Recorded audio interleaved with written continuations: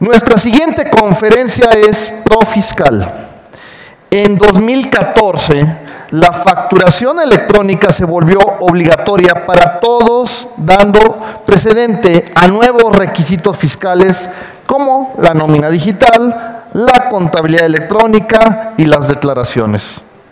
Estos cambios no solo cambiaron la forma de cumplir con la autoridad, sino también transformaron muchos procesos del papel a lo digital. Una conferencia que te invita al aprovechamiento de la tecnología para revisar la información antes de enviarla a la autoridad. Es momento de recibir al contador público Víctor Ochoa, fiscalista, socio fundador y director del despacho Asesores Fiscales OWL. Corre video.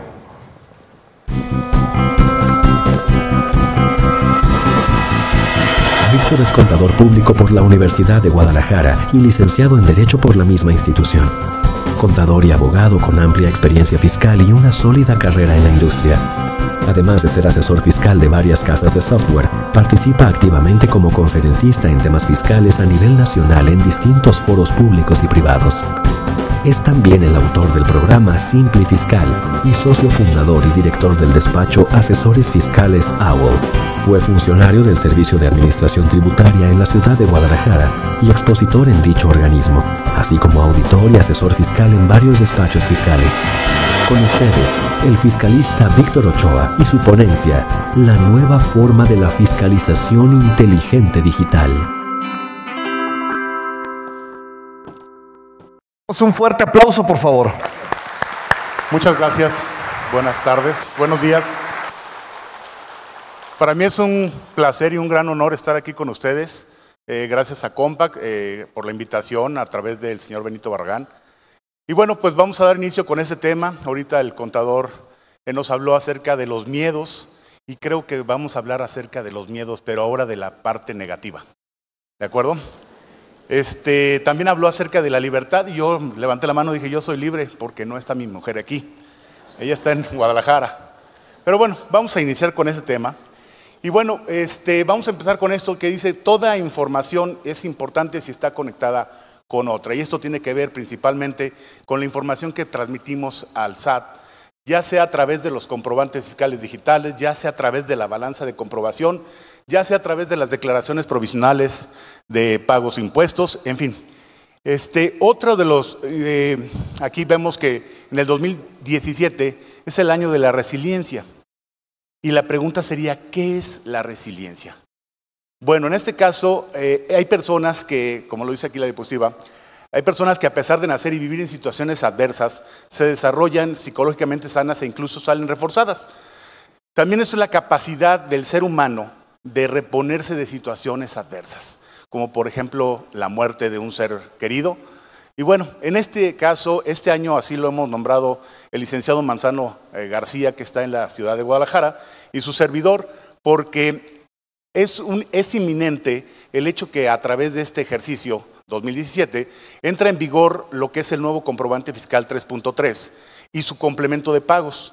Dichos eh, instrumentos que el, SAT nos va a hacer de uso obligatorio a partir de este ejercicio, pues eh, vamos a encontrarnos ante situaciones adversas para las empresas.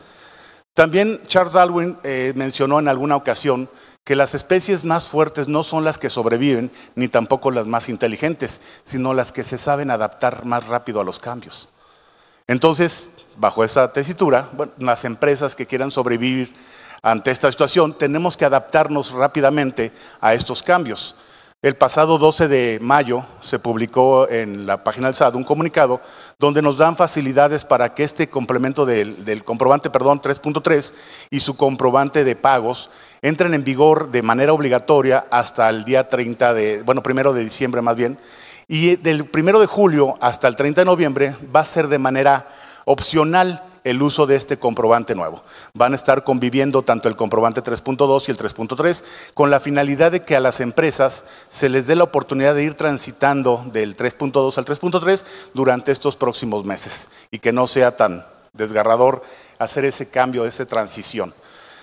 En este caso, este, la resiliencia aquí también nos indica una definición, que es la capacidad humana de asumir con la flexibilidad situaciones al límite y sobreponerse a ellas. Lo mismo en la capacidad de los materiales elásticos para absorber y almacenar energía de deformación. Entonces tienen en este caso este, una en la psicología y la ingeniería de materiales. El término resiliencia dice esta palabra hace referencia al fenómeno por el cual los cuerpos retornan de forma y a su forma inicial. ¿De acuerdo? Eh, la creatividad, el sentido del humor y la independencia ayudan a superar los contratiempos y eso es algo que nos ha caracterizado a los mexicanos durante mucho tiempo, que nos sabemos reír de nuestras desgracias en un momento dado. Y en este caso, bueno, tenemos que tener esa creatividad para poder salir adelante y, como les comento, implementar todos los cambios necesarios a estos nuevos cambios fiscales. ¿De acuerdo? Empezamos con las malas noticias, con, los miedos que, que el SAT nos empieza a dar a conocer y esto es una, declaración que hizo el anterior jefe del SAT, estando en Acapulco el día 7 de julio, ya prácticamente un año, donde nos dice precisamente que la tecnología nos permite de manera sigilosa y silenciosa eh, vigilar el comportamiento de los contribuyentes sin necesidad de hacer una auditoría, para realizarla solo aquellos en casos en los que se observa una inconsistencia o alguna irregularidad. eso es una gran verdad. Al día de hoy, el SAT a través de los comprobantes fiscales y de la información, como les comentaba al principio, nos está vigilando, así como el, Brick Brother. Y, este, y, al día de hoy, lamentablemente, muchos de nosotros aquí presentes podríamos estar siendo sujetos de una revisión y todavía no nos damos cuenta, porque a través del buzón tributario, a través de las balanzas de comprobación y de los comprobantes que ya tienen su poder el SAT, nos están vigilando el comportamiento de nuestras operaciones. Otra declaración, pero ahora fue del nuevo secretario eh, de Hacienda, Satín Quirós, este, dice que la factura se ha convertido en el eje de la administración tributaria en nuestro país, asegurando que México es pionero en este comprobante fiscal y que eh, es una herramienta muy eh, importante que le permite vigilarnos como lo comentamos eh, previamente, de manera remota, y nos, les permite vigilar el comportamiento y las relaciones que tenemos con los demás contribuyentes para saber quién compra, quién vende y qué vendemos en un momento dado. Y esto todo en tiempo real, porque el comprobante al momento de que se timbra eh, se va a las bases de datos del SAT y el SAT empieza a hacer este tipo de análisis. Más adelante vamos a ver que, que el SAT implementa, este, ¿cómo se llama?, estrategias para detectar estas irregularidades. Y vamos a llevarnos una gran sorpresa al respecto. En otra declaración que también el secretario actual, eh, digo, el, jefe del SAT, hizo una reciente declaración también, donde dice que se han eh, detectado 900 mil millones de pesos en facturas apócrifas. También asegurando que al día de hoy esto representa el 207% más respecto del año anterior. Y no significa que se vendan más facturas en un momento dado, sino que el SAT con las herramientas que tiene se da cuenta de que hay este tipo de documentos circulando. Anteriormente era más difícil detectar a las empresas que se dedicaban a comercializar estos documentos. Al día de hoy ya tiene un conocimiento perfecto de estas empresas y está llevando a cabo acciones al día de hoy para erradicar este, este deporte nacional de México de tantos años. ¿De acuerdo? En este caso dice, el incremento deriva de los nuevos mecanismos de revisión del SAT, que es a través de los comprobantes que les comento. ¿De acuerdo?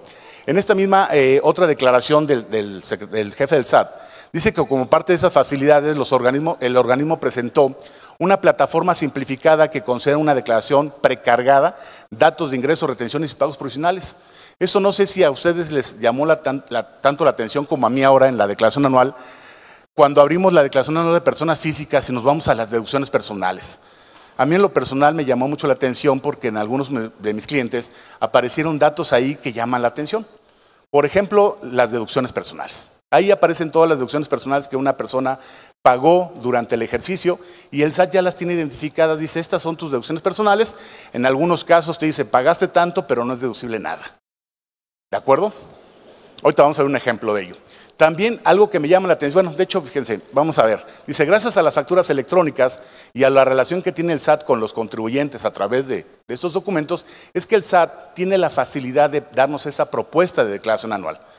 Una vez en Mérida me estaba preguntando una persona, fui a dar una plática por allá, y un abogado me decía, oye, ¿qué va a pasar acerca de la autodeterminación de los impuestos? ¿Esto ya quedó en la historia de acuerdo al artículo 6 del código? Le digo, no, el SAT nada más lo que hace es darnos una propuesta, pero no nos determina el impuesto finalmente. Entonces tenemos el derecho de decir qué deducciones podemos agregar en un momento dado o, este, o ingresos o retenciones que nos hagan falta que el SAT en un momento dado no haya detectado oportunamente. Pero finalmente es una propuesta muy cercana a la realidad, o sea, de, paso dicho esto. En este caso, lo que quiero mostrarles, esto es una pantalla de lo que es precisamente el sistema de declaración anual, eh, de las partes que me llaman la atención. En este caso, el SAT a este contribuyente le dice que de honorarios médicos, dentales y gastos hospitalarios se encuentra una factura de 450 pesos, del cual nos dice deducible, nada. Me llama la atención este comprobante y si lo revisamos vamos a encontrar una situación. En este caso, analizando el comprobante, vamos a encontrar que podemos editar en un momento a este documento para decirle al SAT que sí es deducible o, de plano decirle que no es deducible. Y aquí observamos precisamente que el método de pago con el cual se registró este documento, que en teoría debería ser deducible por ser un gasto médico, pues resulta ser que fue efectivo. Y eso lo sabe el SAT a través del propio comprobante fiscal. Déjenme decirle aquí que la sorpresa es que el cliente que de, de, la declaración que está presentando, él pagó este comprobante fiscal con tarjeta de crédito. ¿De acuerdo? Nada más que no tuvo una precaución. Revisar al momento del documento que el documento señalara la clave correcta del instrumento que utilizó para pagar el comprobante. Y así lo dejó, no lo revisó, así lo dejó, y el SAT simplemente lo detecta y entonces le dice, esto no es deducible.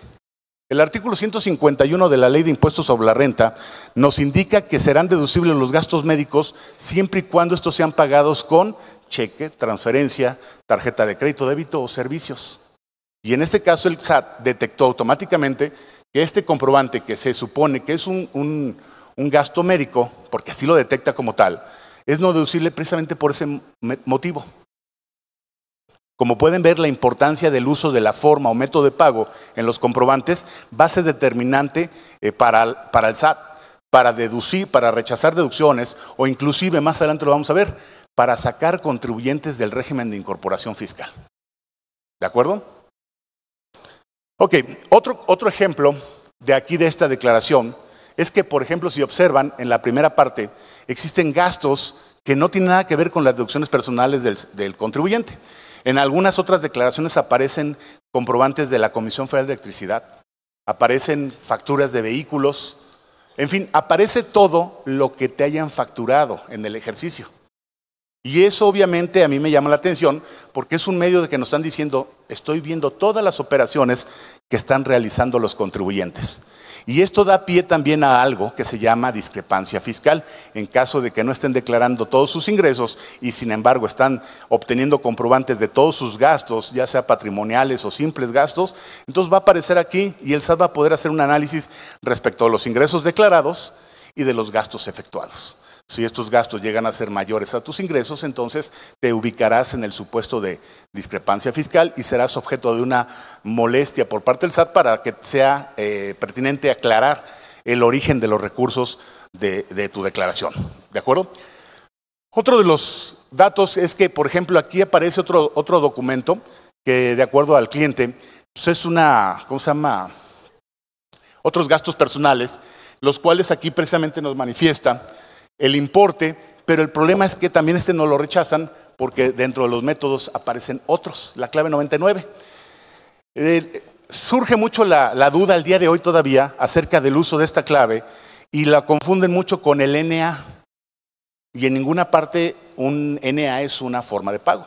Normalmente dando cursos de comprobantes fiscales siempre les he señalado que formas de pago, de acuerdo al catálogo del SAT, son aquellos instrumentos que utilizamos para dar cumplimiento a una obligación de deuda, ¿de acuerdo? La cual podemos liquidar de muchas maneras. Con un cheque, con una transferencia electrónica de fondos, con una tarjeta de crédito, de débito, moneda electrónico, con una compensación, este, una permuta, pago en especie, inclusive, bueno, hay miles de maneras. Eh, en este caso, el otros no significa que es NA. El NA es que no se ha pagado. ¿De acuerdo? Eso es lo que significa el NA, no se ha pagado. Y por lo tanto, como el atributo es requerido y no se permite que se deje en blanco ese atributo en el XML, es preciso señalar algo. Ese algo el SAT nos dio a conocer mediante una regla miscelánea desde el 2006 que podemos usar el NA. Nada más que el pequeño detalle que cometió el SAT en ese entonces es que nunca nos dijo en qué casos sí y en qué casos no. Entonces, cuando dice podrás utilizar el NA en lugar de estos requerimientos, por ejemplo, el régimen fiscal, el domicilio de la sucursal donde se emite el comprobante fiscal, o en este caso la forma de pago, pues así nada más decía la regla. Entonces, pues cuando dicen podrán, a nosotros nos entendemos que si nos da la gana lo podemos hacer. Y entonces a todos los mexicanos nos dio la gana utilizar el NA de forma indiscriminada.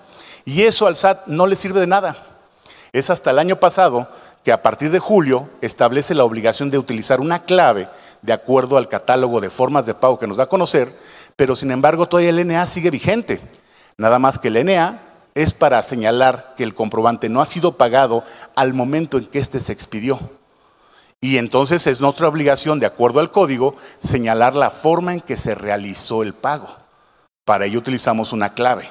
Y en este caso la clave utilizada fue otros, indicando que no fue tarjeta de crédito, no fue tarjeta de débito, tampoco el cheque, ni la transferencia electrónica de fondos que debió utilizar este contribuyente para dar cumplimiento a este comprobante fiscal. ¿De acuerdo? Por lo tanto, el SAT dice, bueno, si no se pagó en esos medios, que así lo señala el 151 de renta, entonces este comprobante simplemente es no deducible. También nos señala, me voy a regresar un poquito si es posible, para quitar esto. Dice, en la parte superior, fíjense lo que dice, estas facturas no fueron identificadas por el SAT como deducciones personales. Puedes revisarlas. Y si cumplen con las disposiciones fiscales, eso es algo muy importante, si cumplen con las disposiciones fiscales vigentes, clasifícalas como tales, como una deducción personal.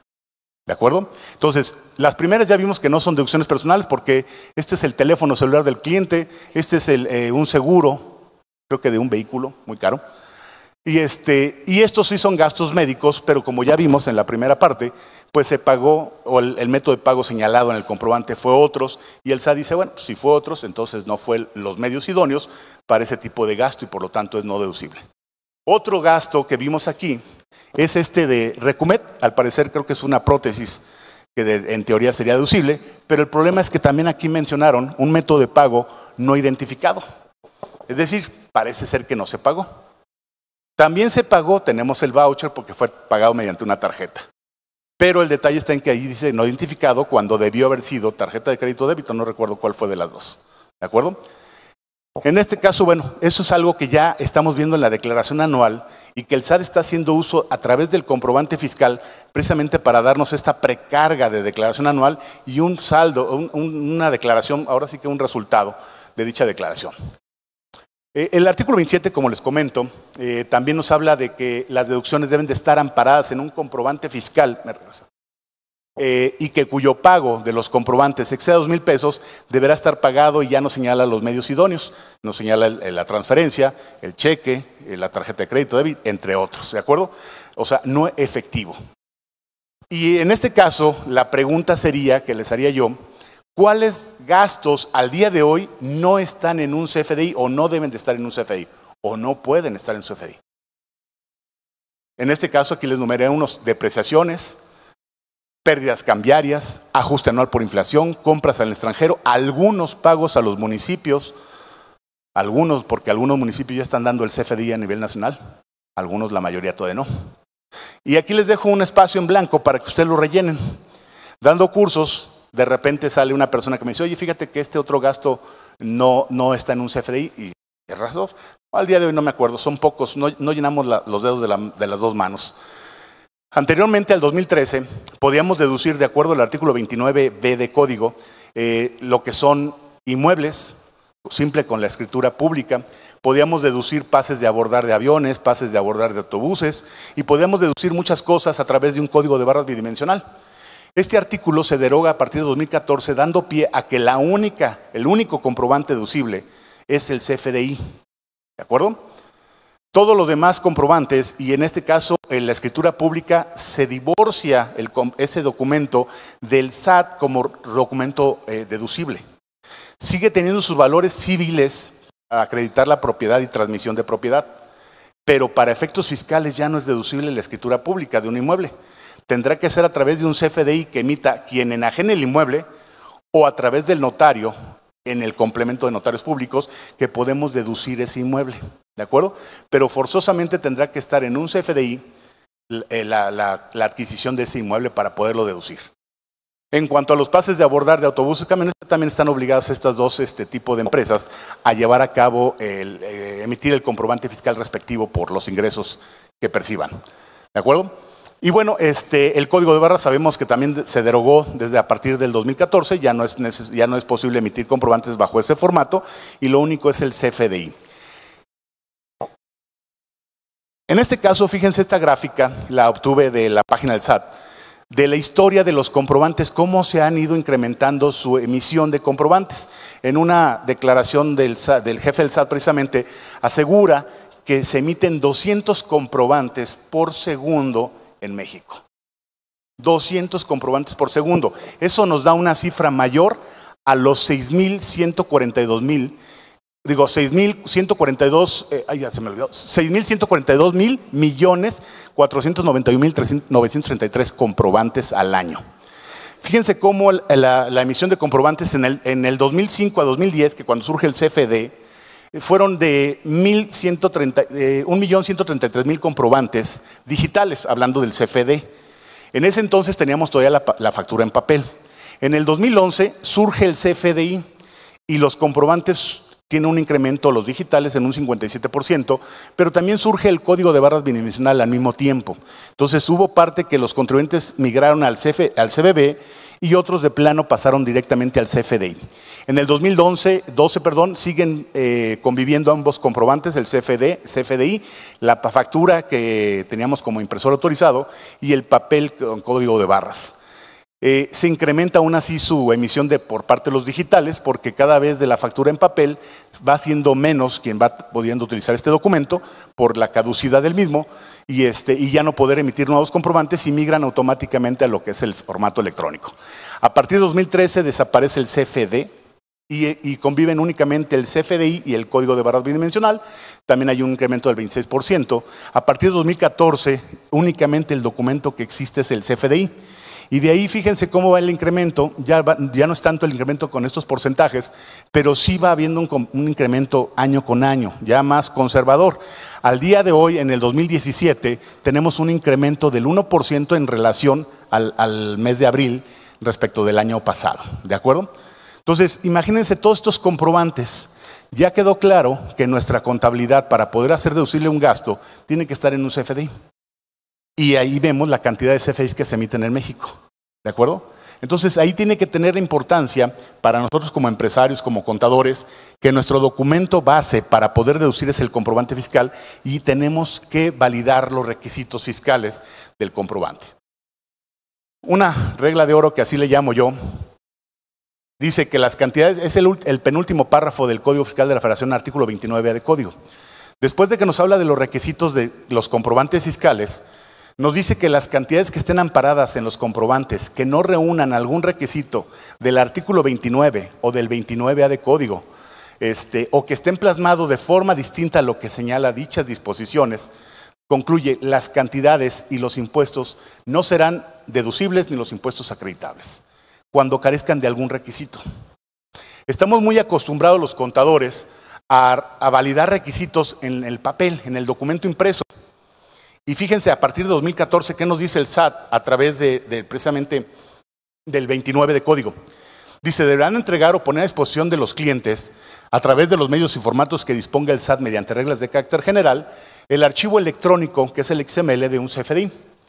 Y dice, y cuando así le sea solicitado por el cliente, tendremos que entregar la representación impresa. A partir de 2014 le agregan lo que está subrayado en verde, que dice, la cual únicamente presume la existencia de dichos comprobantes fiscales. Con ese último párrafo le quitaron toda validez al documento impreso. No son deducibles los documentos en papel a partir de 2014.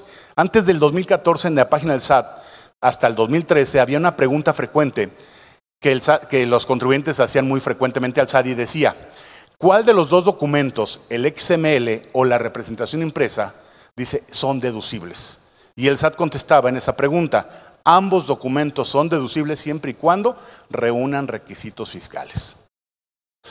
Entonces, si tú tenías un documento en papel que era una representación impresa de un CFD, era deducible si cumplía requisitos. Pero al día de hoy, al partir de 2014, el papel no sirve para nada. Nos dice que solamente es una constancia de que en alguna parte existe un comprobante fiscal digital a través de Internet. Entonces, ¿para qué sirve el XML? Pues lo único razonable que entiendo, porque ni siquiera para contabilizar sirve, porque gracias a herramientas como las de computación acción, que es el ADD, nos permite importar un XML y generar una póliza de manera automática o semiautomática. ¿De acuerdo? Entonces ya no necesitamos ver el documento impreso para hacer la captura. Entonces, ¿para qué sirve? Si no va a ser para capturar, ni para pagar, ni para cobrar, etc. Eh, sirve únicamente su representación impresa para validar, eh, ah, déjeme hacer una pausa, no siempre se puede validar los requisitos fiscales de una representación, de una representación impresa. Muchos programadores cometen el error de que la representación impresa de un XML no es una copia fiel del XML. ¿De acuerdo? Y entonces no podemos validar todos los requisitos a través de, la representación impresa. Entonces, ¿para qué nos sirve?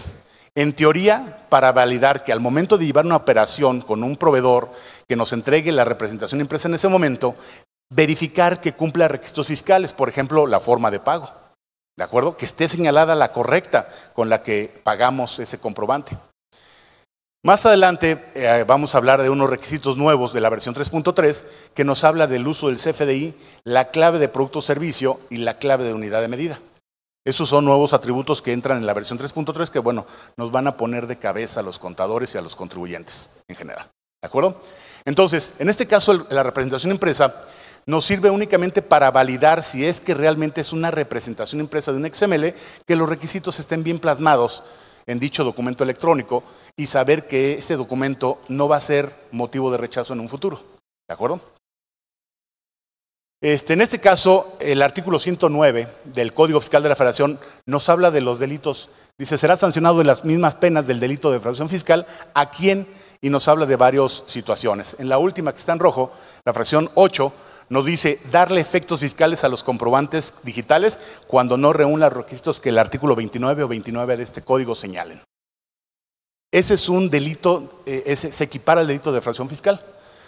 Una vez revisando para preparar un material de comprobantes en el despacho, pedí a mi secretaria que me proporcionara algunos comprobantes. Me proporcionó uno en particular, una, una gasolina que se adquirió en el despacho.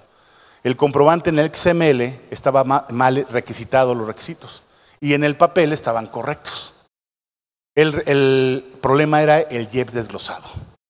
Eh, el IEPS, hablando específicamente de este impuesto, hay tres artículos, uno fiscal de la federación y el otro está, dos artículos en la ley del IEPS, que prohíben textualmente el desglose de este impuesto.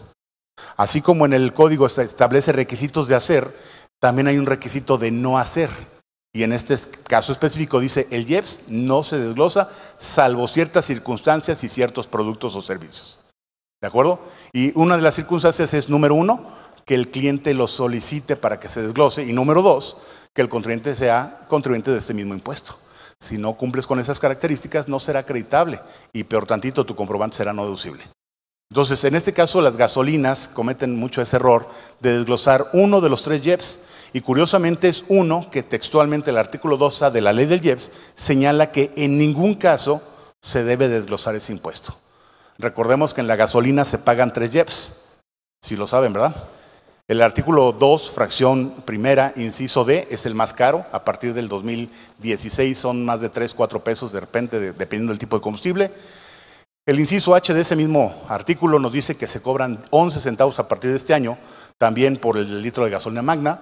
Y el artículo 2A de la ley del IEPS nos habla de que vamos a pagar otros 38 centavitos por litro de gasolina magna a partir de este año. Específicamente esos 38 centavitos, la característica es que no graban IVA y segundo, específicamente el artículo dice, este en ningún caso se debe de desglosar el IEPS. ¿De acuerdo? Y ese es el que comúnmente las gasolineras desglosan porque como no graba IVA, para determinar la base de dicho impuesto, lo desglosan y lo plasman así en el XML. En, la representación empresa no aparece así, engañándonos a los contribuyentes pensando que el comprobante está bien emitido, pero la realidad es que el XML, que es el que tiene la validez, es el que está mal. ¿De acuerdo? Ok. Dice, ¿por qué en el comprobante establece señalar eh, la forma en que se realizó el pago, que es tiempo de conjugación, realizó en modo pretérito no actual o futuro. ¿De acuerdo? Eso siempre me ha quedado claro a mí. Dice el código así, de señalar la forma en que se realizó. No dice señalar la forma en que se realizará. Y muy comúnmente de repente el, el, cliente que va a pagar le dice al proveedor, oye, esta factura que te voy a pagar en 30, 60, 90 días, te la voy a pagar con una transferencia electrónica de fondos. Así que en este momento quiero que lo plasmes, la clave 03 de dicha transferencia, aunque te lo va a pagar en 30, 60, 90 días. Eso es incorrecto, porque la obligación jurídica es señalar la forma en que se realizó el pago. Y como lo estamos viendo, es un hecho pretérito. Y aquí tenemos la definición, tiempo verbal que presenta la acción como realizada en el pasado. Y lo que el cliente está pidiendo es que señalemos un hecho futuro, que incluso es incierto. De acuerdo al día de hoy no sabemos si nos va a pagar el cliente, ¿verdad? Bueno, el cliente ya quiere que le pongamos que va a hacer transferencia. Yo les diría, ¿qué pasaría si al momento del pago este cliente no puede realizar el pago mediante la transferencia electrónica de fondos y lo hace mediante un cheque nominativo? ¿No estaría plasmado el comprobante de forma distinta a lo que señala el SAT? Entre el artículo 29 que dice, 29, perdón, que dice, deberá señalar la forma en que se realizó el pago. Y si tú le estás poniendo que va a ser pagada con transferencia y finalmente se paga con un cheque nominativo, pues para mí eso está plasmado de forma a lo que dice el código. Y en teoría y en sentido estricto, el comprobante será no deducible también. ¿De acuerdo? Entonces, Hagamos conciencia de eso, es un requisito y el día de mañana lo va a fiscalizar el SAT puntualmente y nos va a rechazar los comprobantes como lo vimos en la declaración anual de personas físicas. Por el método de pago nos va a rechazar el comprobante. Entonces, ante esta definición de el señalar el pago, en este caso, siempre que ya se efectuó esta situación, el pago obvio, y para futuro, en caso de que no se haya pagado, es factible utilizar la expresión NA, no, aplica, inclusive la de no me acuerdo o no ha sido pagado es cualquier otra análoga, ¿de acuerdo? Ok. Artículo 29, precisamente en la fracción 7, inciso 6, nos habla precisamente textualmente, como les comentaba, de la obligación jurídica, que es señalar la forma en que se realizó el pago. Realizó. Y ya nos menciona que esta puede ser en efectivo, transferencia electrónica de fondos, cheque nominativo, tarjeta de crédito, débito, etcétera, cualquier instrumento, ¿de acuerdo? Ah, eh, no importa, aquí, no estamos hablando de la deducibilidad de que si rebasa los dos mil pesos o no. ¿De acuerdo? Señalar la forma. No es señalar la forma en que se le dio la gana al facturista en ese momento, sino con el instrumento con el que se liquidó realmente dicho documento. Este, esta regla nos habla de, a ver, así, ah, de los, de los cambios del régimen fiscal. Fíjense, a través de esta regla nos dice el SAT, para los efectos del 27 del Código Fiscal, 29 fracción séptima, 30 fracción quinta, inciso CD de reglamento, dice la autoridad fiscal realizará el aumento de obligaciones al régimen de las personas físicas con actividades empresariales y profesionales, estamos hablando de los del régimen de incorporación fiscal, sin necesidad de que el contribuyente presente el aviso de respectivo. Dice, cuando éste deje de tributar conforme al título 4, eh, capítulo 2, sección 2 de la ley de impuesto a la renta, por exceder el importe de los 2 millones de pesos en este caso. En el caso en que ustedes como régimen de incorporación fiscal declaren en sus ingresos, en sus pagos definitivos de impuestos a la renta, ingresos cobrados arriba de 2 millones de pesos, el SAT automáticamente dice, mediante esta regla, los vamos a cambiar automáticamente al régimen de actividad empresarial profesional. También nos dice, derivado de la información proporcionada por el propio contribuyente, el propio contribuyente, es decir, eh, cuando tú manifiestes que, que rebasaste los 2 millones de pesos. Y luego dice, o terceros relacionados o bien obtenida por la autoridad por cualquier otro medio. Hablando de terceros relacionados, hablamos del DIOT en este caso. Si yo le facturo a puras empresas que deducen y acreditan los impuestos, ellos tienen obligación de presentar el DIOT. Y en el DIOT declaran que te pagaron X cantidad por cada comprobante. La suma de todas esas declaraciones en un ejercicio le dirá al SAT si rebasaste o no los 2 millones de pesos y por lo tanto, en base a esa información, te expulsarán del régimen de incorporación fiscal. Pero a partir también existe otro método que es el comprobante fiscal. Vamos a pensar que yo le voy a factura a varias empresas este, grandes cantidades, obviamente ninguna rebasando en lo individual dos millones de pesos, pero digamos que en suma sí le facturé más de dos millones de pesos a, a varias personas físicas o morales con actividades empresariales. En los comprobantes todos mis clientes me pidieron que señalara que ya fue pagado el comprobante con transferencia electrónica porque así será cuando se me paguen a crédito esos documentos. Y bueno, yo accediendo a esa voluntad porque finalmente el cliente lo que pida, yo le puse transferencia, cheque nominativo, etcétera, como me dijeron. Pero yo no he cobrado. Pero si verificamos la suma de todos los comprobantes que yo emití señalando que ya los había cobrado cuando no ha sido así, y la suma supera los 2 millones de pesos, entonces será motivo suficiente el SAT para decir, estás fuera del régimen, porque estás cumpliendo con tu obligación jurídica de señalar cómo realizaste el cobro de esos comprobantes, aunque no lo hayas realizado. ¿De acuerdo? Y entonces fue, será motivo suficiente para que abandones de manera obligatoria el régimen de incorporación. Ok, la noticia del año es mis cuentas. Fíjense nada más el valor que tiene la autoridad al día de hoy para dos cosas. Número uno, dice que los contribuyentes que no rebasen, eh, en este caso los del RIF, no están obligados a llevar contabilidad.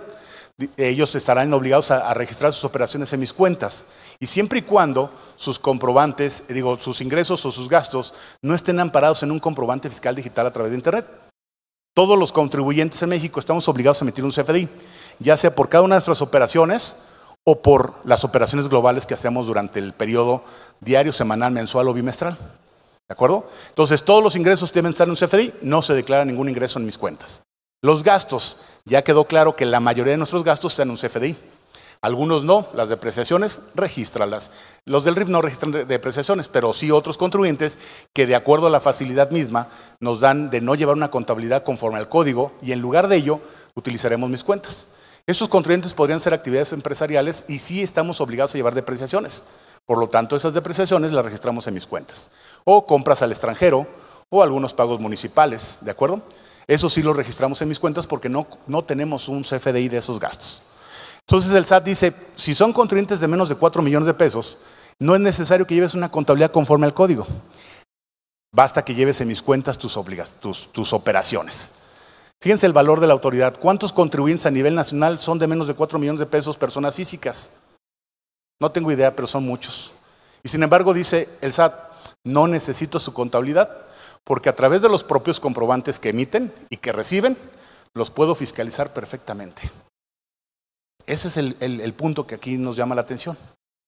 Luego tiene otra, otro valor, porque dice el SAT que a partir del año que entra ya no vamos a presentar declaración informativa múltiple de salarios. Este año fue la última que presentamos. ¿De acuerdo? Se acabaron las informativas. Y el SAT entonces, ¿de dónde va a hacerse de información para presentarnos el año que entra la propuesta de declaración anual de los asalariados? Del CFDI de nóminas, exactamente. Es a través del comprobante de nóminas que va a tener toda la información y no tiene que esperarse hasta el 15 de febrero del año que entra. La va a tener puntualmente días después a más tardar de que la pagues esa nómina. Y, y cada nómina la va a ir acumulando, acumulando, acumulando, acumulando. Y al día primero, el día 15 de enero, a más tardar, ya el SAT va a tener esa información ya precargada en las declaraciones anuales. Y me estoy yendo largo, creo. ¿De acuerdo? Entonces es, a través del comprobante, como pueden observar, que el SAT eh, va a tener más fiscalización sin que nosotros, en el caso de personas físicas menores a 4 millones de pesos, presentemos una declaración. Y de los asalariados presentemos informativas. ¿De acuerdo? Ok. También nos dice, eh, continuando con esto, que una vez que se haya ingresado, bueno, aquí nos habla de, la, de, que una vez que hayamos ingresado, no deberíamos de registrar los ingresos o gastos amparados en un CFD.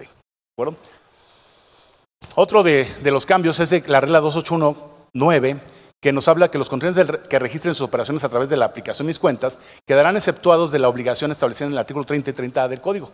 Estos artículos nos hablan de la obligación de conservar la documentación de la contabilidad electrónica, de la contabilidad en general.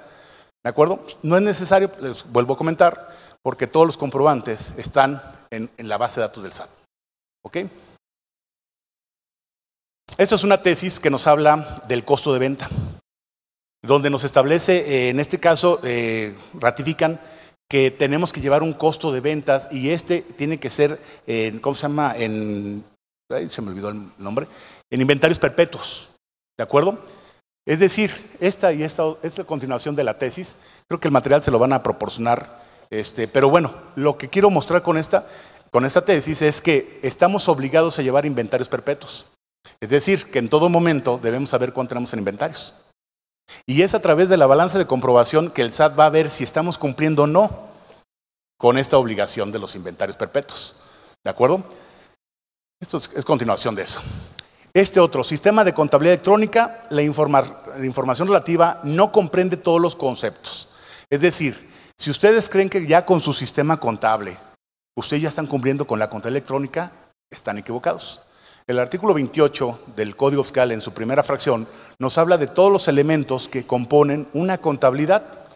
Y entonces estamos hablando de el sistema de contabilidad precisamente, de los controles de inventarios, de nuestras facturas, estados de cuenta, de nuestras conciliaciones bancarias, de nuestros contratos, de todos los elementos que en este caso la fracción primera nos señala, y luego viene a rematar con el 33 del reglamento, donde nos viene a decir, bueno, algunas cosas que se le olvidó de acuerdo al código, en el reglamento nos vienen a recordar. Entonces, todos esos elementos son los que se componen, lo que componen al día de hoy lo que se llama contabilidad, ¿de acuerdo? Al hablar de contabilidad electrónica es un término que adoptamos eh, para darle la importancia de que vamos a mandar una balanza electrónica mes con mes a las autoridades fiscales, ¿de acuerdo? Pero contabilidad electrónica ya la llevamos desde hace muchos años, lo, comentaron ahorita en la mañana Eduardo.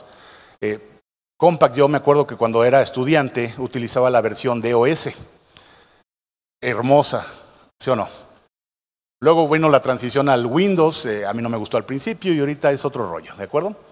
En fin, este, la contabilidad como tal, antes era una opción llevar la contabilidad en sistemas electrónicos y a partir de 2014 desaparece la facilidad o, la, la, posibilidad de llevarla de forma manual para no escaparse a la obligación de mandar nuestra balanza cada mes a través de medios electrónicos ante el SAT. Bueno, en este caso eh, vamos a empezar con las malas noticias, con los miedos. A partir de 2014, el SAT nos da a conocer un artículo 69b ese artículo 69 nos habla de un término que se llaman EFOS, no UFOS, EFOS. Empresas facturadoras de operaciones simuladas. Nos da a conocer otro término que se llama EDOS, empresas que deducen operaciones simuladas. Y otro término que se llama CAOS, comprobantes que amparan operaciones simuladas. ¿De acuerdo? Es a través de estos comprobantes, y no es nada nuevo, se usa esto desde hace muchos años, nada más que a partir del 2014 el SEA les pone un nombre y pone un procedimiento para detectar estas empresas que se dedican a vender facturas y por ende a los que las compran. ¿De acuerdo? Entonces, en este proceso, eh, el SAT ha ido notificando mes con mes desde el 2014 cuántas empresas se dedican a vender facturas. Si pueden observar, en el acuerdo, eh, la parte roja son los EFOS que se van notificando. Bueno, en este caso dice, si son los EFOS definitivos, son los que están en rojo, ¿de acuerdo? Eh, la gráfica no, no da mucho eh, a mostrar, pero mes con mes se estaban declarando EFOS definitivos de 15, de 20, de 8, etcétera, de 2014. Al día de hoy, nuestra, la notificación de EFOS definitivos ha incrementado. Llevamos cerca, bueno, el SAT lleva cerca de 3.000 empresas declaradas EFOS. El efecto de estos EFOS, de acuerdo al 69, es que los comprobantes que emitieron nunca surtieron efectos. Entonces, la persona que dedujo alguno de estos comprobantes de estas empresas tendrán 30 días eh, a partir de que fueron notificados los EFOS para que estos EDOS acrediten ante las autoridades que la operación llevada a cabo con estos EFOS sí se realizó. Y entonces aportarás pruebas idóneas, y no estamos hablando del comprobante y el pago únicamente, para demostrar que la operación sí llevó a cabo y podrás deducirla. En dado caso contrario, que no lo logres o que no te hayas enterado, entonces tú tendrás esos mismos 30 días para presentar declaraciones complementarias, obviamente restando esos gastos y restando de tus pagos provisionales el IVA acreditable y las deducciones que tú hayas efectuado a través de estos comprobantes. Obviamente pagando actualización recargos. De otra manera, dice el SAT, si no lo haces tú, entonces yo lo hago a través del buzón tributario. ¿De acuerdo? Entonces, como pueden observar, estas son unas estadísticas de los CEFOS. Son cifras a marzo del 2017. Fíjense quién es el que vende más facturas, el estado que vende más facturas. ¿Cómo ven? Siempre han tenido esa fama, ¿verdad? Si no era aquí a través de, ¿cómo se llamaba el mercado este? San, algo así. Santo Domingo. Pero Jalisco no se queda atrás. Fíjense, ah, no, este, en este caso es Nuevo León con 403 y Jalisco con 366. y de ahí síganle, ¿de acuerdo? Estos son presuntos, es decir, la autoridad detectó a estas, estas empresas físicas y morales que cree que llevan a cabo estas operaciones. Una vez que se les notifique esa presunción, se les da 30 días para que posterior a esos 30 días, bueno, en esos 30 días acrediten que no son EFOS. ¿De acuerdo? Estos son por tipo de persona. Física, 742 personas, morales, 3125. ¿De acuerdo? Eh, este es por notificación. Las notificaciones se llevan a cabo por notificación personal, 1475, por estrados, 2022, y por buzón tributario, 223 notificaciones. Estos son los definitivos ahora sí. Estos son los que no pudieron o no se enteraron que fueron notificados como presuntos cefos. Y entonces ahora sí nos dice, mira, el Estado de México, la Ciudad de México, perdón, 320 EFOS definitivos, el estado de Jalisco 179, Nuevo León 111 y así sucesivamente. ¿De acuerdo? Al día de hoy hay más de 3.000 EFOS. El plan de la autoridad es que a fin de año lleguen a 10.000. En estos tres años, del 2014 al 17, se han notificado EFOS definitivos por un porte de 3.000 contribuyentes. En lo que resta del año, el SAT pretende otros 7.000 más. ¿Cómo ven? para llegar a la cifra de 10 mil. Ok, estos son eh, definitivos por tipo de persona. A las personas morales definitivos estamos hablando de 1156 y a las personas físicas de, 2000, de 214, perdón.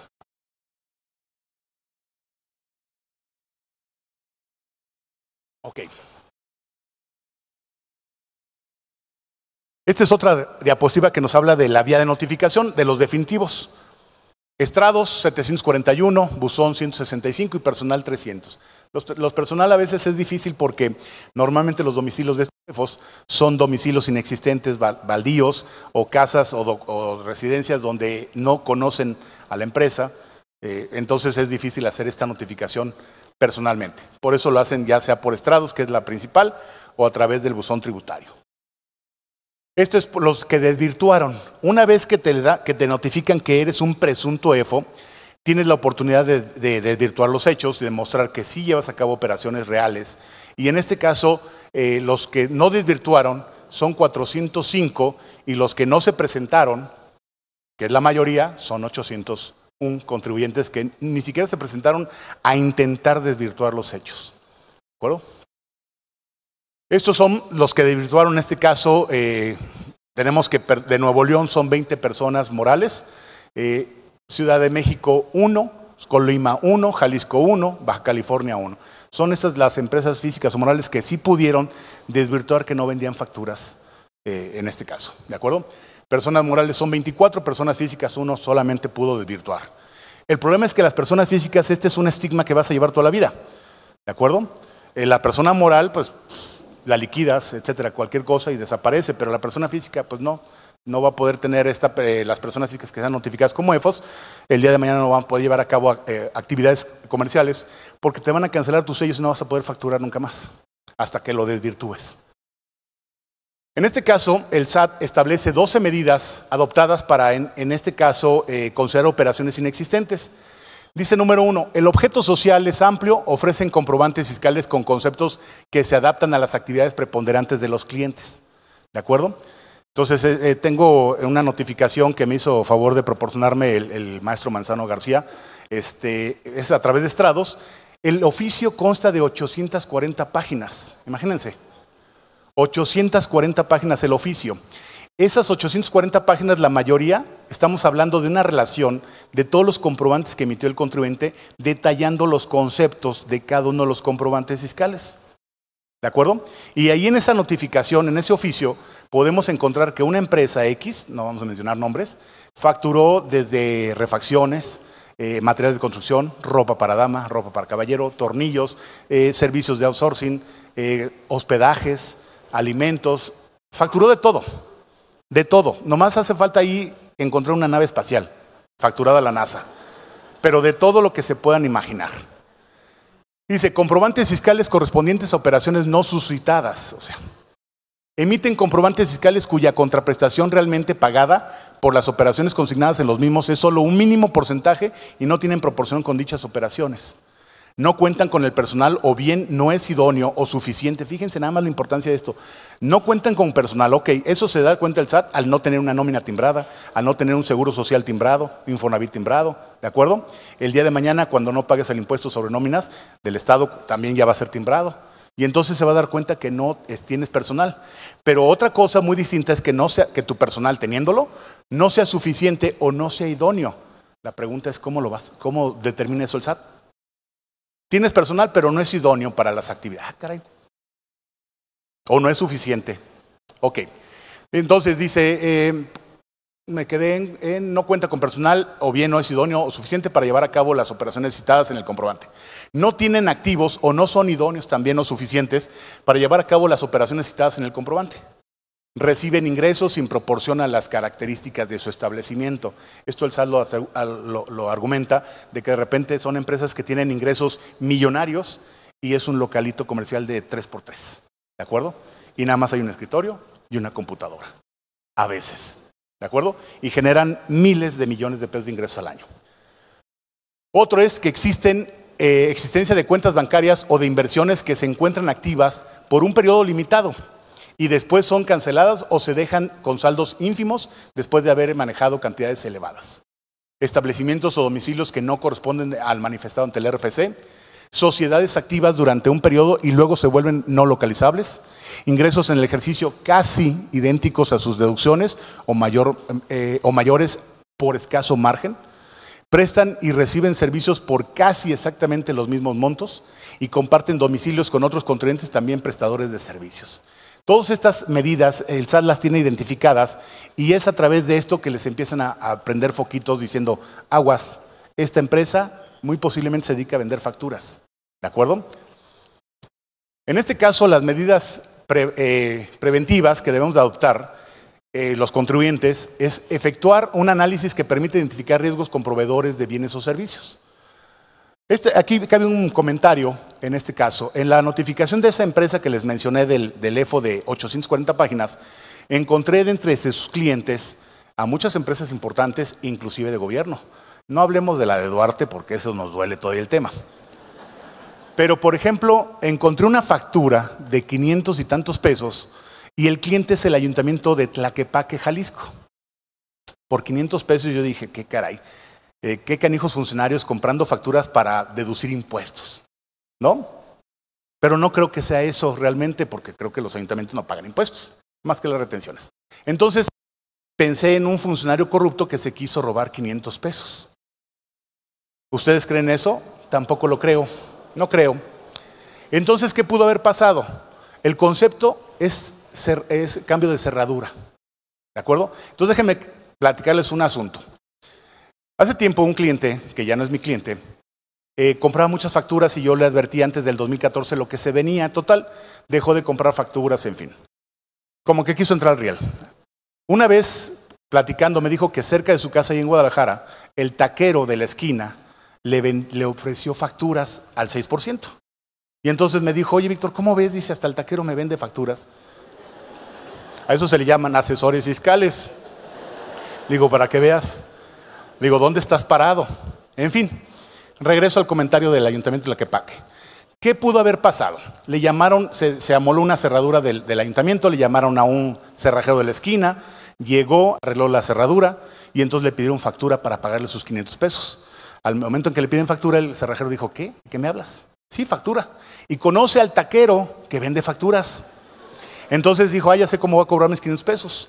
Acudió con el taquero, le compró una factura al 6%, regresó al ayuntamiento, le entregó el comprobante y le pagaron sus 500 pesos. Y ahora el, el ayuntamiento es un EFO, un EDO, perdón, empresas que aducen operaciones simuladas. ¿De acuerdo? ¿A qué voy con esto? Que el ayuntamiento nunca le pidió el acta constitutiva de esa empresa al cerrajero para verificar que el cerrajero fuera socio o representante legal de dicha empresa. Pudo haber argumentado, es que no soy el representante ni el, socio, soy un empleado. Entonces tráeme tu nómina y tu liquidación del Seguro Social para verificarlo. No lo hicieron. Y por lo tanto, el ayuntamiento ahora es un EDO involuntariamente. La moraleja es, ustedes cuando contratan un servicio con X proveedor, llevan a cabo alguna validación para verificar que él no sea un EFO o vaya a ser un EFO a corto plazo? Por eso aquí nos dicen que hay que efectuar un análisis que permita identificar riesgos con proveedores o bienes o servicios. Porque si no lo hacemos, el día de mañana puede ser que este EFO, esta empresa sea declarada un EFO y entonces tenemos un problema. ¿De acuerdo? En eso nos vamos a encontrar. Dos, revisar de manera permanente las publicaciones realizadas en el diario oficial correspondiente a la lista de presuntos EFOS. ¿Ustedes lo hacen? No. Pues es una tarea que tenemos que hacer. Verificar constantemente que nuestros proveedores, por lo menos los más importantes, no estén en esas listas, porque entonces si no nos enteramos y transcurre el plazo de 30 días, entonces no tenemos deducibilidad de esos gastos o compras. Entonces tenemos que estar verificando constantemente esas listas denominadas listas negras. Cerciorarse que los proveedores cuenten con activos, infraestructura, personal y capacidad económica. Hay que hacer ese breve análisis que tiene que ver con el punto uno. Verificar que las empresas subcontratadas cumplan con sus obligaciones fiscales de sus trabajadores, retenciones de ISR, seguridad social, etc. Eso también tiene que ver con la reforma de 2017, el 27 fracción quinta de la ley de renta y, y correlativo con el IVA.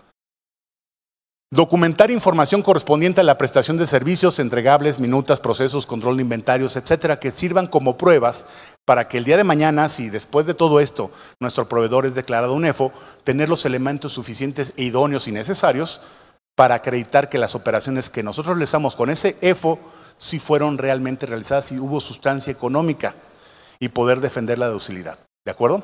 Entonces, estas son las medidas que debemos de adoptar para no estar en ese supuesto. Fíjense, este dice contrainteligencia tributaria. Estas son unas medidas que realmente el SAT va a estar empleando. Dice, donde el propio manual de la Secretaría de Defensa expone evaluación de amenazas y vulnerabilidad en operaciones financieras y nos dice vulnerabilidad más amenazas es igual a riesgo. Y es a través de estos elementos que, eh, o factores que la autoridad desarrolla fórmulas matemáticas del análisis de probabilidades de científicos, el científico Bayes, para establecer los indicios del lavado de dinero en base a la frecuencia, a la elaboración de facturas, de los montos, conceptos, giros y clave dada de alta ante el SAT. ¿De acuerdo? En este caso, hay un proceso que al día de hoy estamos todos familiarizados, que es precisamente que para el ISR, las personas morales, eh, acumulamos en devengado. Para eso tenemos la obligación de emitir comprobantes, deducir comprobantes, obligaciones de declaraciones y pagos del DEM, del DIM, del DICIF, del CIPRED, etc. Y por otro lado, para efectos del IVA, tenemos que a flujo efectivo, también tenemos, contamos con nuestros comprobantes fiscales, a partir de este año nuestros comprobantes de pago, ¿de acuerdo? Pero lo importante es la sustancia económica precisamente que guardan esos comprobantes fiscales. No nada más es tener el comprobante y ya. Tenemos que demostrar la sustancia económica, eh, buscar no ubicarnos en el 69, que son los EFOS, EDOS y CAOS. Tenemos que tener precios de transferencia del anexo 9, 76A también en este caso.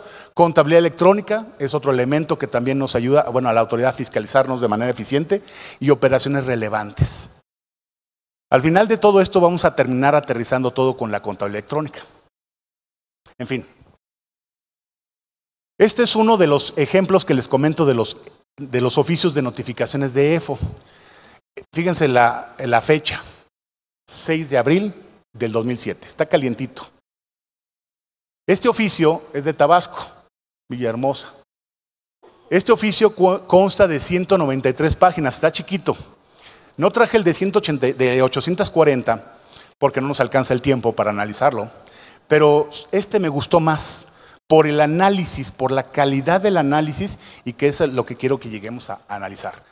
Fíjense, dice que ahora bien, derivado del ejercicio de, las atribuciones facultades conferidas eh, en términos de exposiciones digitales, etcétera, etcétera, dice el SAT mediante información que obtiene a través del artículo 63 del código y en este caso eh, las operaciones eh, relacionadas y realizadas por este contribuyente del 1 de enero de 2015 al 31 de dicho ejercicio, llevó a cabo N número de operaciones.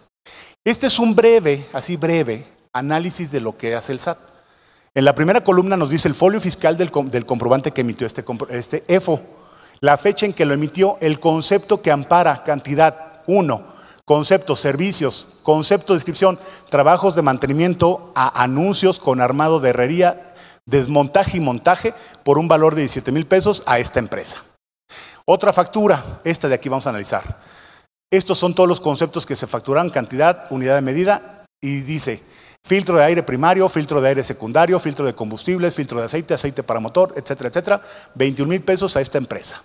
Y así, señores, uno por uno, todos los comprobantes que esta empresa emitió durante ese ejercicio. Uno por uno, con ese análisis, cantidad, unidad de medida y descripción de cada uno de los conceptos de este comprobante. Más adelante ya, en la página 183, nos hace un análisis. Dice, ahora bien, en la información obtenida al consulta de la fecha del 11 de noviembre del 2016, dice el SAT, la actividad preponderante que el contraente declaró fue la de construcción de inmuebles comerciales, institucionales, servicios, en un 35% como actividad preponderante desde el 2014. Y bueno, estas otras también tiene otra preponderante, instalaciones de sistemas centrales de aire acondicionado y calefacción y otras instalaciones de equipamiento de construcciones. Y sin embargo, factura de todo. Luego viene ya un análisis después de todos los comprobantes de ingresos, donde el SAT le dice, mira, CFDI emitidos por servicios de asesoría en proyectos, reparaciones, mantenimientos, hospedaje y comidas, 59 millones de pesos de ingresos. Por ventas de tangibles, ya sea de materiales de cómputo, impresoras, papelería, kit de grabación, 2 millones de pesos. Por materiales industriales, válvulas, valeros, cables, soldaduras, uniformes, 20 millones de pesos. Materiales de construcción, 18. Venta de abarrotes en general, ¿no que era constructora? Un millón de pesos. Por renta de impresoras, equipo audiovisual, equipo de sonido, proyector, 779 mil. Arrendamiento de oficinas, 61 mil. Arrendamiento de maquinaria, 17 millones de pesos. Y por último, un total de 120 millones de pesos facturados en un año esta empresa. ¿De acuerdo? Ok. Luego, después de este análisis, eh, vienen todos los CFDIs que recibió este contribuyente. La mayoría obviamente son compra de timbres fiscales para facturar y comisiones bancarias. Y aquí está otro análisis. Dice, mira, de los servicios tú emitiste comprobantes por 59 millones de pesos, pero no recibiste un solo comprobante que ampare esos servicios o mano de obra o servicios prestados a ti. Por materiales de cómputo, 2 millones y no recibiste nada. Por materiales de válvulas industriales, valeros, cables, vendiste 20, pero solamente compraste 77 mil pesos. Otro día que inviten los de Compact a estos administradores para que nos digan cómo le hacen para ser tan productivos, ¿verdad? Con esos márgenes de utilidad. Materiales de construcción facturan 18 millones, pero solamente compraron 104 mil pesos. Eh, venta de barrotes facturaron 1.700.000 y no tienen un solo comprobante que ampare una tortilla siquiera. Y renta de impresoras 779 y sin embargo no tienen una sola impresora. Arrendamiento de oficinas 61 mil pesos y no tienen inmuebles y peor tantito, no subarrendaron tampoco. Arrendamiento de maquinarias, 17 millones de pesos, pero solamente pagaron 6 mil pesos. Recargos, créditos y comisiones, estos son los que cobraron, y el total son 251 mil pesos. Fíjense, nada más de puras comisiones representa el 20% de sus costos. Díganme, ¿por qué el SAT lo declaró EFO? ¿Tienen alguna idea? ¿Sí me explico? Es a través del comprobante que el SAT va a saber esto. Hizo este análisis. Ahora, vamos a ver los cambios que se vienen a partir de la versión 3.3. Y luego vamos a ver realmente cuál es esa herramienta inteligente que les estamos queriendo comentar. Nuevo requisito del CFDI versión 3.3 es el uso del CFDI. Este atributo es nuevo. Me llama mucho la atención y quiero hacer mucho énfasis en esto, porque el SAT en su guía de, llenado del CFDI dice que este atributo no es obligatorio para la deducibilidad o para el rechazo de la deducibilidad del gasto. El, anexo 20 dice que es de uso requerido, o sea, en todos los comprobantes fiscales emitidos, ya sea al público en general, al extranjero, en nómina, tendrá que haber ese uso del CFDI. Dice, este atributo requerido para expresar la clave del uso que se le dará esta factura al receptor del CFDI. Para ello, tenemos este catálogo de usos del CFDI. Está clasificado por adquisición de mercancías, devoluciones, descuentos, bonificaciones y gastos en general. Luego vienen inversiones, equipos, eh, inversiones de activos. Luego gastos personales exclusivamente de uso para personas físicas. Y por último, encontramos un concepto que se llama por definir, que su uso está permitido para personas físicas, pero indefinido para personas morales. No sabemos si lo van a poder usar o no. ¿De acuerdo? Entonces, cuando ustedes vayan a adquirir algo, tienen que preguntarle, digo, eh, cuando ustedes vendan algo, tienen que preguntarle siempre al cliente cuál es el uso que le van a dar al CFDI. arriesgándose que de principio el que no sepa le va a decir, bueno, ¿qué te importa? No, perdone, pero es que ahora es un requisito que tengo que señalar, plasmar en el comprobante. Y para eso estas son las opciones. ¿De acuerdo? Esto hay que preocuparse el cliente de cuál va a ser el uso que le va a dar el CFDI, no el proveedor. Yo eh, como proveedor le voy a poner lo que ustedes me digan. Pero me tengo que preocupar qué le voy a poner a mis comprobantes cuando adquiera bienes o servicios. Dice el SAT, no va a ser motivo de que si está mal sea, se respide otro comprobante, se cancele este. Hay un principio legal que dice que si una norma no, eh, no tiene, en este caso, una sanción, es una norma imperfecta. Si el SAT dice que esto no va a haber una sanción de la pérdida de utilidad, entonces ¿para qué lo pone en un comprobante? Va a pasar algo muy similar, creo yo, con el método de pago la forma de pago. Cuando surge este método de pago y forma de pago en 2005, cuando surge el CFD, sale la regla que dice usa el NA, pero nunca aclara en qué, eh, para qué casos sí y en qué casos no. A partir del 2016 nos dice, el uso del NA está limitado a ciertos casos. Y entonces el problema es que como estamos muy acostumbrados de más de 10 años a aplicar el NA de forma indiscriminada, y ahora nos viene a, meternos en, un redil, pues tenemos ese problema porque no entendemos bien el uso de ese método de pago y forma de pago. Entonces, si ahorita el SAT dice que este uso del CFDI es eh, opcional porque, bueno, se tiene que poner, pero no importa si tú compraste una computadora y le pusiste que eran honorarios médicos. Dice el SAT, no importa, no tienes que cambiar el comprobante y no te lo voy a rechazar. Lo que no dice el SAT es que ahorita no te lo va a rechazar. Mañana, cuando diga, ahora sí vamos a poner atención en esto, entonces el problema porque estamos acostumbrados a poner la que se nos dé la gana. ¿Sí me explico? Ojo con este uso del CFDI, vamos a ver más adelante. Segundo, la forma de pago ya sabemos que es un, eh, es un atributo, ya ahora en la versión 3.3 es opcional su uso. Hay una, una clave en el, en el, mismo atributo, dice que si no la conocemos se debe de omitir, pero en la, en la guía de llenado del 3.3 dice que pongamos la clave 99, que significa definir si es que no hemos cobrado el comprobante. Luego viene, en este caso, el nuevo catálogo de formas de pago. Si ustedes ya dominaban el catálogo de pagos actual, a partir de que entre en vigor el 3.3, tenemos este nuevo catálogo de formas de pago. Todo lo que está en rojo cambió. Hasta el 99 ahora se llama por definir, ya no se llama otros. Para mí el nuevo otros es el 27, que viene siendo a, satisfacción del acreedor. ¿De acuerdo? Dije satisfacción, no dije cuerpo mático. ¿Ok? Luego viene el método de pago también que nos habla de que es un uso opcional y para esto ya no podemos usar una sola exhibición, la leyenda tal cual. Ahora tenemos que usar claves. Hay un catálogo que se llama PUE, que es pago en una sola exhibición, y el PPD, que es pago en parcialidades o diferido. Obviamente este pago parcialidades o diferido viene vinculado al comprobante de pagos. Una vez que el pago se realice posterior a la emisión del comprobante, tendremos que emitir otro comprobante de pago por la parcialidad o por el pago total del comprobante. Y entonces tendremos dos mínimo. ¿De acuerdo? Existe otra que es PIP, que es pago inicial y parcialidades. Eh, aquí el SAT, eh, digo, el, COMPAC, eh, a través de Benito Barragán, que es este, quien tiene contacto directo con las autoridades fiscales, nos comentó que ese PIP ya va a desaparecer del, catálogo de métodos de pago porque el proceso que tenía que ver con eso, el SAT ya no lo quiere. ¿De acuerdo? Si cobramos un, un enganche en el momento, tendremos que emitir otro comprobante fiscal por ese enganche. Clave de producto servicio.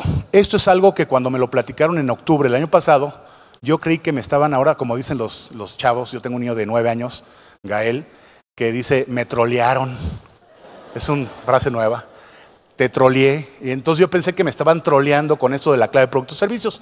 Resulta ser que el 15 de noviembre voy al SAT, a México, a, Nuevo León, a una expoferia del SAT, y nos dicen que hay una clave de productos servicios, un catálogo para señalar en los comprobantes cada uno de los conceptos de los productos que estamos vendiendo o facturando en nuestros comprobantes. Y este catálogo tiene conceptos, bueno, hice un breve resumen, 52.839 claves de productos o servicios, de los cuales, fíjense, 2.124 son claves para rosales, clasificados entre vivos o cortados, frescos o secos. Yo no entiendo por qué tanto interés del SAT en saber qué, tipo de rosal venden. Los que tengan viveros o florerías van a tener un problema porque tienen que saber exactamente qué tipo de rosal venden. Hay 69 conceptos militares. Uno de ellos es guerra nuclear. Por Dios santo. zonas desmilitarizadas, mercenarios, uso de armas químicas e historial militar, entre otros conceptos. No sé quién los vaya a utilizar en sus comprobantes. Hay otros conceptos que también me llaman la atención porque, bueno, como contador en mi despacho ah, facturamos asesoría fiscal buscando qué conceptos vamos a utilizar, qué, qué, claves. Puse fiscal y encontré un concepto que me da la atención que se llama defraudación fiscal. Por Dios santo. También existe otro que se llama paraíso fiscal, entre otros. Si ponen contabilidad, la palabra contabilidad, van a encontrar conceptos como contabilidad financiera, contabilidad de costos, contabilidad de nóminas, contabilidad de inventarios. ¿De acuerdo? Entonces tienen que ver cuál es realmente la contabilidad, el servicio de contabilidad que están prestando al, cliente. ¿De acuerdo? No hay conceptos para todo, ¿eh? ¿eh? Hay muchos conceptos de todo tipo, pero hay algunos que aquí en México no se usan. Por ejemplo, yo me dedico a dar muchos cursos y sin embargo cuando busqué una clave que tenga que ver con cursos, los cursos van a tener que ser de las 10 de la noche en adelante ya. Porque el concepto que encontré se llama cursos nocturnos. Por Dios santo.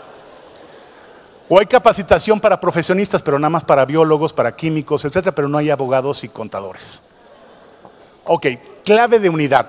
Aquí tiene una actualización al material, se los mandé a, a Compact desde el lunes 15, pero el viernes precisamente hubo una actualización a los catálogos que no tiene ya que ver con lo que vamos a mostrar. Estos son algunas de las claves de unidad de medida. Una cosa es la unidad de medida que utilices en tu comprobante, la cual le llamas caja, bulto, arpilla, eh, metro, kilo, lo que sea. Pero es, al partir de la versión 3.3, un dato opcional. ¿De acuerdo? Lo que es obligatorio es poner una clave de acuerdo a un catálogo de unidades de medida. El original catálogo de claves de unidad de medida era en inglés. ¿De acuerdo? A partir del día viernes el catálogo ya está en español, por lo menos. Pero vamos a encontrar aquí conceptos como por ejemplo, bueno, aquí puse algunos de los catálogos de unidad de medida, pero bueno, me llama la atención que tenemos la clave L96, que es año sideral, o el B59, que es un año luz. Existen en el nuevo catálogo, nada más que ahora ya están en español. Antes había 3.306 unidades de medida, ya no hay tantas, son 1.700 y algo, pero ayer dándole una repasada antes de venir aquí con ustedes, eh, me doy cuenta que siguen sin existir unas unidades de medida terrenales, eh, más usuales aquí en, México, ¿de acuerdo? Por ejemplo, eh, yo una vez me acuerdo en el 2011 cuando el SAT impuso la obligación de señalar la unidad de medida de acuerdo a un catálogo o de la ley aduanera este, o de la norma oficial mexicana, pues no se adaptaban todas las unidades de medida a los conceptos que facturamos en México. Tuvo bien el SAT que en octubre de ese ejercicio nos dice, usa la de usos mercantiles. Traducción, usa la que se te dé la gana. Y entonces, si me voy a un mercado de abastos para ver cuáles son esos usos mercantiles, entonces llego al abastos y pregunto, oye, ¿cuánto vale el limón? Dice, el kilo tanto, la arpilla tanto. La arpilla es una unidad de medida de uso mercantil. El bulto, la cubeta, el saco, todos esos son unidades de medida de usos mercantiles usados en México. El problema es que esas no se encuentran en estos catálogos. ¿De acuerdo? Tenemos que buscar en este catálogo, ahora sí en español, cuál es el uso que le vamos a dar, digo, cuál es la clave de unidad de medida al comprobante fiscal digital. ¿De acuerdo? De cada concepto. Este es un ejemplo de lo que es la representación impresa de un CFDI de la versión 3.3. En, este, eh, en la parte superior vamos a encontrar que el tipo de comprobante ya no es ingresos como tal. Hay un catálogo que nos habla de que tiene que ser I, E eh, de, egresos, T de traslados, N de nómina, este, P de pagos. ¿De acuerdo? Entonces ya, este es uno de los cambios. Segundo cambio, lugar de expedición. En los comprobantes ya no van a existir domicilios ni fiscal del emisor, ni del lugar de expedición, ni tampoco del receptor los eliminaron del XML. El único domicilio, por, llamarlo de esa manera, se llama lugar de expedición y es a través del código postal únicamente que vamos a plasmar en dicho comprobante. ¿De acuerdo? Del lugar donde se emite, ya sea la sucursal o la matriz. Otro de los cambios es precisamente el uso del CFDI, el cual, como les comentaba, va a ser a través de una clave del comprobante. Si nosotros vamos a Home Depot, por decir algo, a comprar una computadora, hojas de papel, y una silla, que son todo lo que venden en, Office Depot, perdón, ya me aventé el comercial. Este, tenemos que decirle cuál va a ser el uso del CFI que le vamos a dar a esas compras. El problema es que no es por producto, es por comprobante. Entonces, si yo le digo que es un eh, gasto general, por hablar del papel, de las hojas de impresora, pues resulta ser que la computadora no es un gasto general y mucho menos la silla. Entonces tendré que pedir un comprobante fiscal por las hojas de papel, uno por la computadora para señalar que se trata de un equipo de cómputo, que es la clave I04, y luego el de oficina, eh, que viene siendo este, ¿no? Maquinaria y equipo, no, perdón, oficina, I02. ¿Cómo ven? Dice el SAT, al principio esto no lo vamos a fiscalizar, pero después quién sabe. Segundo, no debemos de adivinar, ojo, no debemos de adivinar cuál es la clave que el cliente quiere que le pongamos.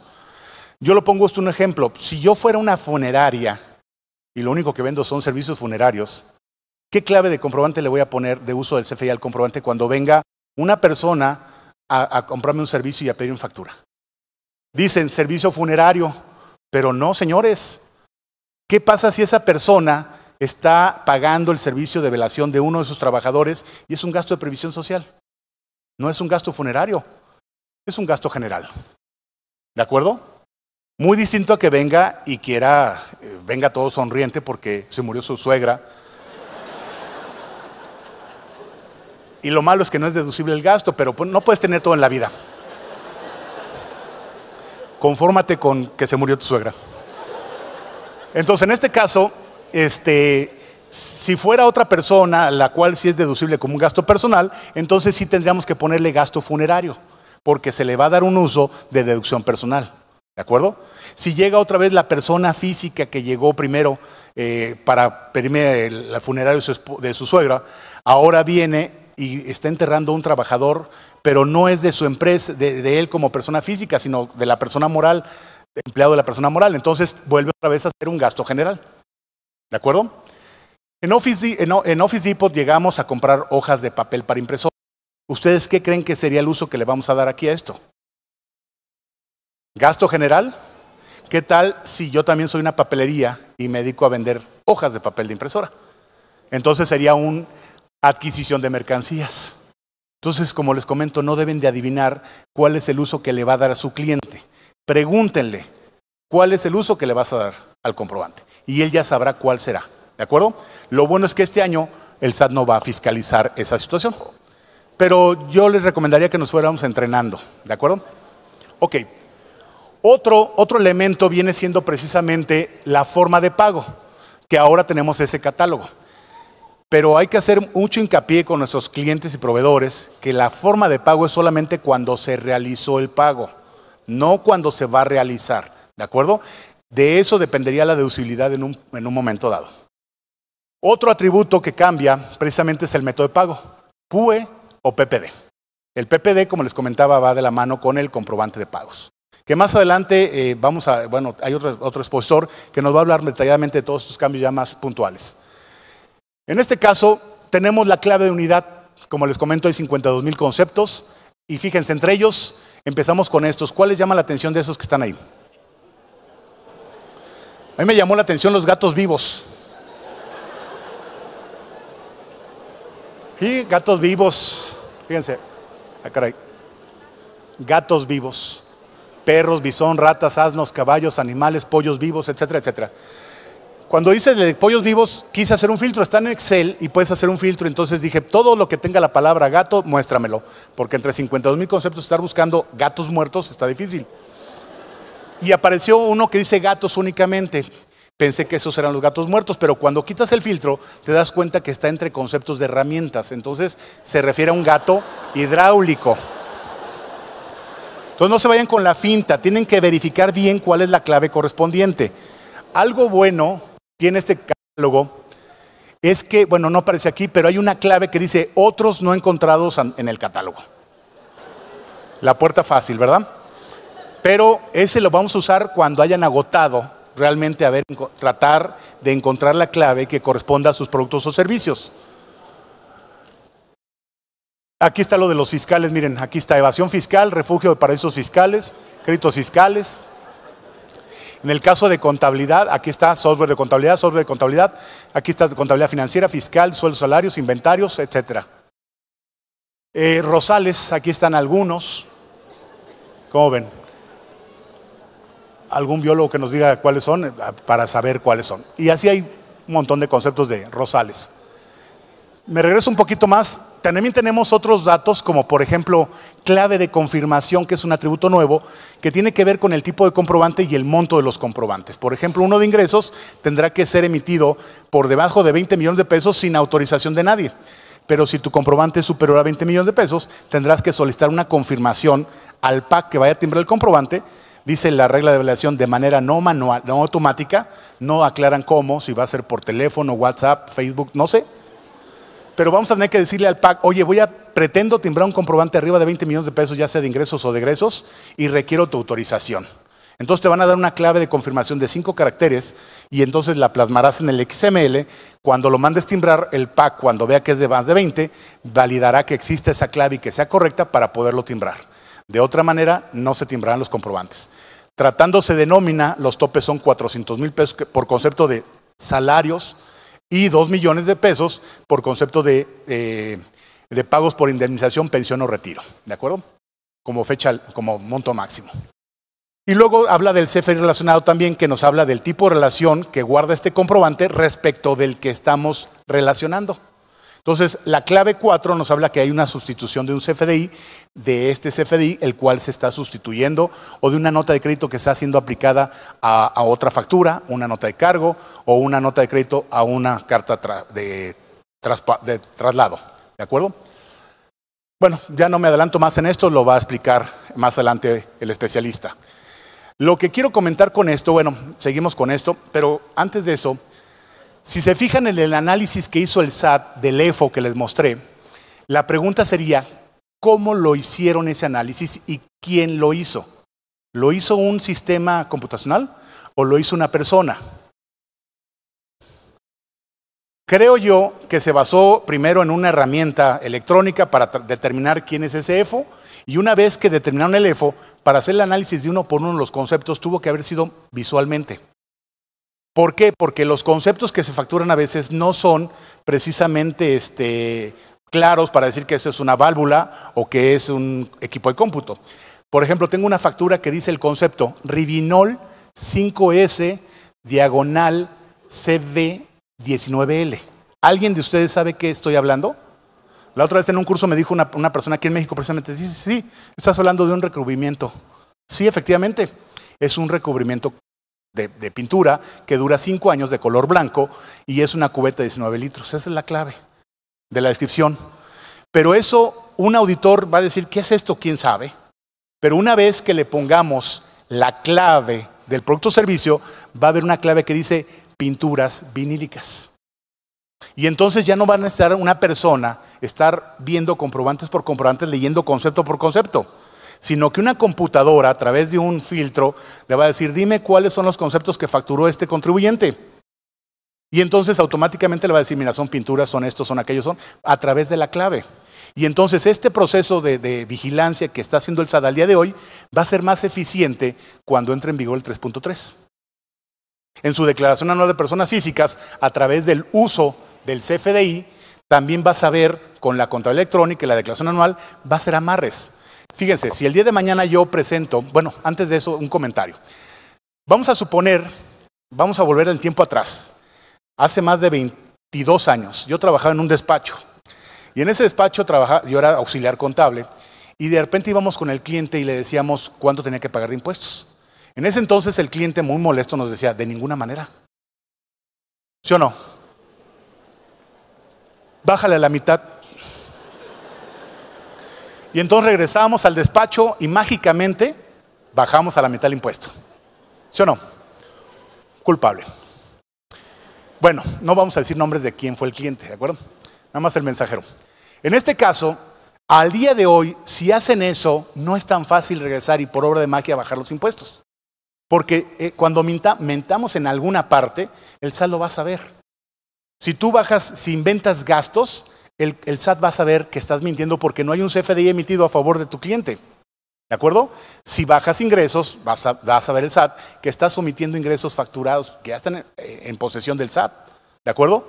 Tenemos una declaración de pagos, de declaraciones y pagos, el cual precisamente manifestamos los ingresos nominales y el SAT sabe que si tú declaras menos ingresos nominales que tus facturas emitidas, entonces se va a emitir una opinión negativa del cumplimiento de, del, del 32D. ¿De acuerdo? Y eso como consecuencia va a traer la cancelación de sellos digitales. Y por lo tanto no vas a poder emitir comprobantes en el futuro. Segundo, este, cuando presentes tu declaración con el uso del CFDI, todos los comprobantes que adquieras durante el ejercicio, ya vas a ver el SAT sin tener que leer el concepto, cuáles son deducciones personales y cuáles no son. ¿De acuerdo? Ahora, si yo compro una computadora en un ejercicio, eh, digamos ahorita en el mes de mayo, supongamos que ya está en vigor el 3.3, entonces el mes que entra el SAT espera, eh, digo, dentro de dos meses, el SAT espera una balanza de comprobación y en el rubro de activos fijos, su cuenta, equipo de cómputo, espera ver un cargo equivalente a de mi factura. Y obviamente en un futuro, también no muy lejano, las depreciaciones van a tener que tener una, una relación con nuestros activos, con nuestras adquisiciones. Si tengo un equipo de transporte, pues entonces en la depreciación de equipo de transporte en los gastos tiene que haber un 25% anual del valor de la factura. ¿De acuerdo? Al día de hoy no, porque no todos nuestros activos están en un CFDI. Algunos son más viejos y están en un CFD o, o, en un documento impreso o en una escritura pública todavía. ¿De acuerdo? Pero tarde que temprano va a haber esa relación y el SAT nos va a fiscalizar cuando tú mandes una balanza de comprobación, va a verificar que esos cargos a los gastos estén relacionados con tus comprobantes fiscales. Esos cargos a tus activos con el uso del CFDI, ¿de acuerdo? Y así va a ser la fiscalización. Y luego también te pueden determinar en base a tus comprobantes emitidos y recibidos, como ya te acuerdan que no necesitamos contabilidad los de menos de 4 millones de pesos. ¿Por qué? Porque el SAT ya la tiene con los comprobantes fiscales. ¿De acuerdo? Ok, en este caso pasamos a lo que es el complemento de pagos y nos dice que cuando un comprobante se emita y no se ha pagado en ese momento, se emitirá otro, en este caso nos habla de que por cero pesos, que es un monto límite que, se emite este comprobante. En el complemento que vamos a usar a ese comprobante, vamos a ponerle la cantidad que estamos cobrando, pero el comprobante como tal tradicional va a ser cero pesos. Ya en el complemento es donde vamos a señalar todo en este caso, de forma rápida porque me queda muy poco tiempo, estos son los atributos que vamos a encontrar en el comprobante fiscal. En este caso vamos a encontrar la fecha del pago, señalando hora, minuto y segundo en que recibimos el pago, tratándose de un, pago bancarizado. La forma de pago si se trata de una transferencia electrónica y el número de operación de esa transferencia. Luego los bancos emisores y receptores, señalando la cuenta clave donde se emitió el pago y donde se recibió. Y luego nos van a decir nos van a pedir el certificado de pago, la cadena de pago y el sello de pago. Pongo con signos de interrogación porque casi nadie sabe de qué estoy hablando.